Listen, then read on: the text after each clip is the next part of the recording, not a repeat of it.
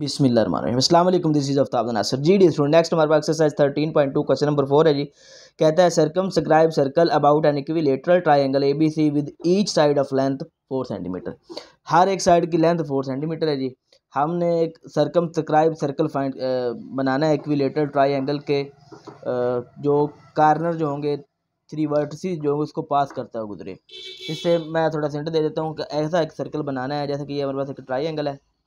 तो हमने कैसा सर्कल बनाना जो इनके तीनों वर्टिस को ऐसे पास करता हुआ गुजरे। ठीक हो गया? इस तरह से। तो ये एक ट्राइंगल है ना? एक इक्विलेटरल ट्राइंगल जिसकी तीनों साइड इक्वल होती हैं। तो एक ऐसा सर्कल बनाना जिसके तीनों वर्टिस को पास करता हुआ गुजरे। तो सिंपल हम करेंगे क्या? सबसे पहले हमारे पास साइड देखें सब की सेम है। तो हम थ्री साइड इसकी बनाते हैं जो सेम होगी। मतलब फोर सेंटीमीटर की साइड ले लेते हैं। तो यहाँ पर एक ले लेते हैं, ये भी फोर सेंटीमीटर की होगी। ठीक हो गया? इसी तरह इसको हम कहते हैं जी ए बी ठीक हो गया? और ए और बी पर हमने मज़ीद फोर फोर सेंटीमीटर की कॉस लगा के साइड बनानी है। तो सिंपल हम क्या करेंगे? एक, फोर इस रखेंगे तो यहाँ पर फोर। बी पर इस रख कर एक कॉस लगाते हैं जी। ये लग गया। इसी तरह ए कर इधर भी कॉस लगा दें एक नया पॉइंट मिल गया हमें। इस पॉइंट को हम सी कह देते हैं। तो अब इसको ज्वाइन कर लेते हैं बी के साथ भी और ए के साथ भी। ये ज्वाइन हो गया जी। इसी तरह हम इसको इससे ज्वाइन कर लेते तो ये भी फोर सेंटीमीटर साइड होगी। ये भी फोर सेंटीमीटर की साइड होगी और ये भी फोर सेंटीमीटर की साइड होगी। सबसे पहले हमने काम क्या किया? हमने एक सर्कल सॉरी एक ट्राइंगल ड्रा की। तो उसको कंस्ट्रक्शन के अंदर साथ साथ लिख लेते हैं। ड्रा आ ट्राई एंगल कौन से वर्टिस थे उसके? ए बी सी ठीक हो गया? ये एक हमने सर्कल ट्राइंगल ड्रा कर ली।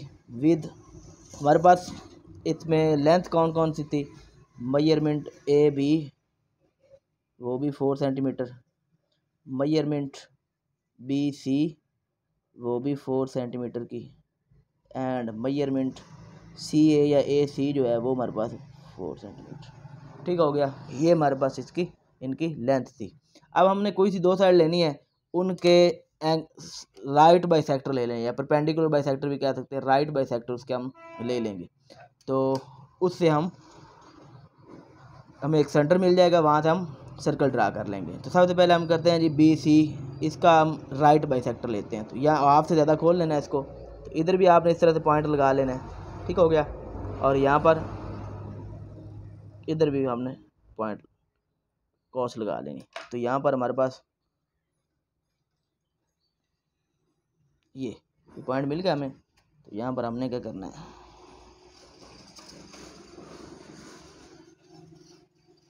सॉरी, एक इधर पॉइंट मिल गया। इसी तरह हमने बी पे रख कर इधर भी लगा एक कॉस और यहाँ पर सी पर रख कर इसको भी इस तरह से मिला देना ठीक हो गया। अब एक पॉइंट ये मिला, एक पॉइंट हमें इधर मिल गया। इनको आपस में मिला लेंगे तो ये बी सी का राइट बाई सेक्टर होगा।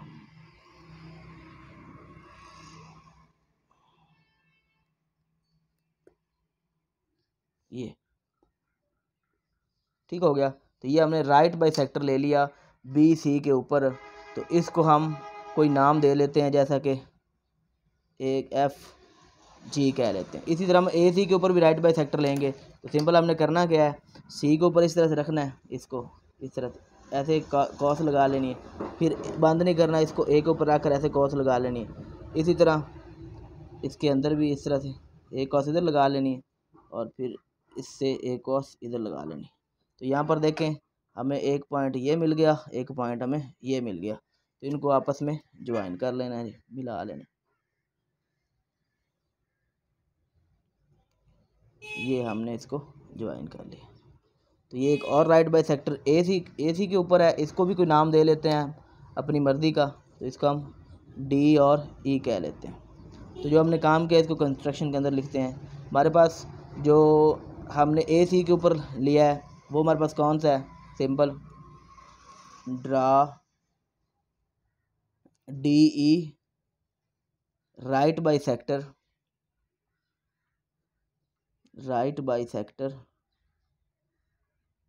किसके ऊपर? A C on A C segment line segment के ऊपर. ठीक हो गया?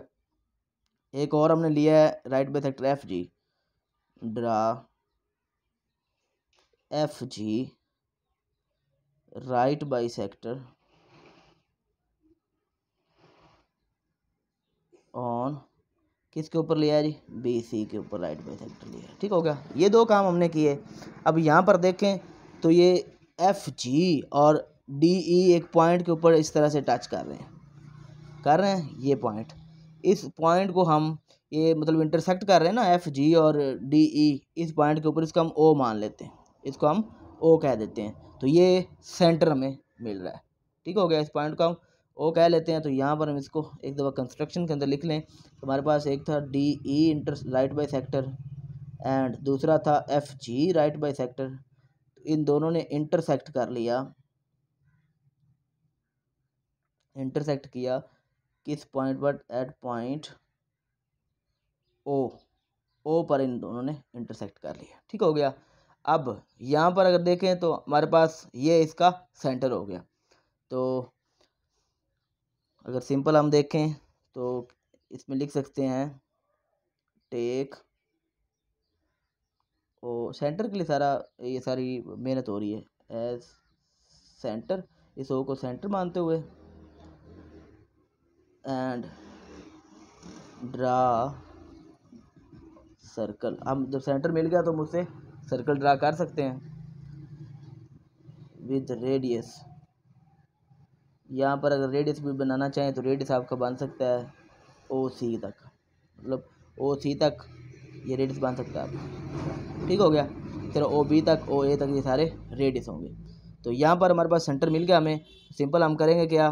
यहाँ पर इससे लेकर सी तक हम इसका रेडियस मानते हुए यहाँ तक इसको ओपन करेंगे. कंपस को सी तक, वर्टेक्स पर, ठीक है?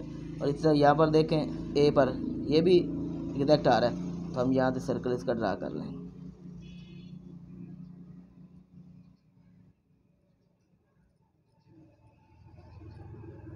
ये सर्कल ड्रा हो गई। ये कैसा सर्कल ड्रा हुआ है, जो वर्टेक्स ए बी सी को पास करते हुए गुजर रहा है। तो यहाँ पर हम इसको कंस्ट्रक्शन के अंदर लिख लेंगे।